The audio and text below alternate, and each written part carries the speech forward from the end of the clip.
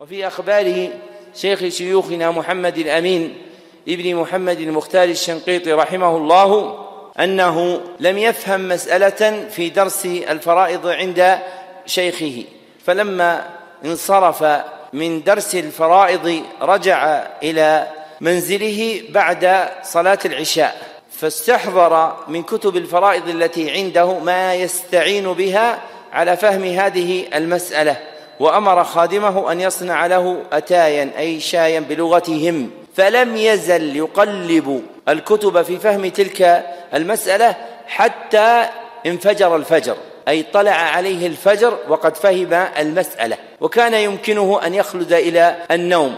ثم يقول هذه مسألة لعلي أموت لا أسأل عنها لأنه يرى أن فهم هذه المسألة عبادة يتعبد بها الله عز وجل.